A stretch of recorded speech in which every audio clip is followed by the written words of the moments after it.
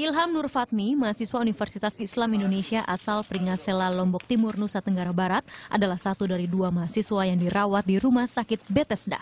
Sebelum akhirnya menghembuskan nafas terakhir selasa dini hari.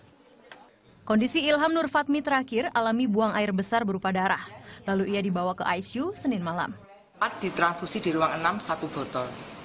Kemudian karena kondisi kondisinya semakin menurun, pasien dikirim ke ICU jam 19.30 dengan diagnosa hematosisia itu ke apa uh, darah segar ya tetap, tetap ada berat darah segar anemia vulnus laceratum dan tensi 80-40 Sementara Syahid Alam yang lebih dulu meninggal dan telah dimakamkan minggu malam lalu alami luka yang lebih serius.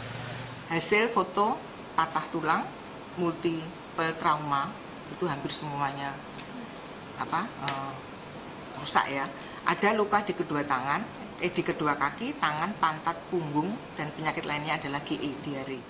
Ada tiga korban tewas setelah mengikuti pelatihan pendidikan dasar Mapala Unisi di lereng Gunung Lawu, Jawa Tengah.